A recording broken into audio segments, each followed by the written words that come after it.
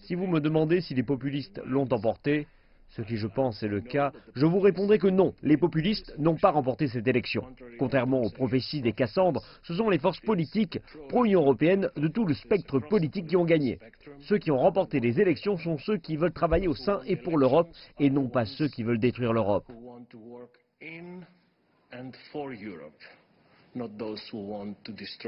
Les résultats préliminaires indiquent que les partis pro-européens garderont la main haute sur le Parlement européen alors que les partis libéraux et écologistes égalisent la montée des eurosceptiques.